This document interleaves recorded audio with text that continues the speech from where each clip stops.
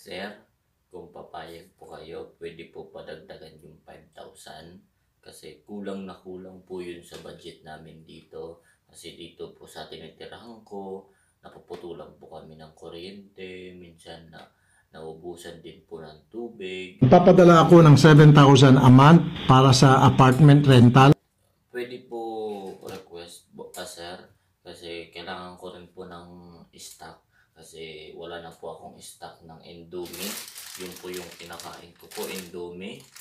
Tapos kung po pwede po sa pang ano ko po ng, ng damit, ito po, para po sa paglaban ng damit ko. Tapos po, kung po pwede, kung po pwede rin po, ah, pampabango po ng damit kasi ayoko po na mag-aamoy mag mag-aamoy ano ako, kailangan ko rin po ng downy. Yun po, sir, rap, sir. Sabihin natin 500. So 7,500. Kung pa pwede po, sir, ah hihingi po ako ng relo rin, yung G-Shock, na ma- mabibili naman po sa bata.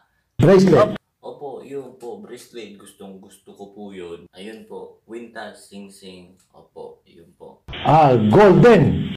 Opo, opo, gustong gusto ko po yung gold. Meron po dito nabibili 2,000, may 2,500 real, may 3,000 real. Depende po sa klase. May 24K, may 32K. Depende po sa klase ng gold dito. Marami pong maano. Tapos makakamura pa po tayo. Relo, kwenta, sing-sing, arites. Ano po, kung magbibigay po kayo sa akin yung tunay lang, tunay lang po kasi alam niyo naman, sensitibo po yung skin ko. Meron na nga po rin po ako na mula-mula dito. Sana po, bigyan niyo po ako. Kahit, yun po, kun, yun po, konting tulong na po yun sa akin. Dagan pa natin yung anklet. Opo.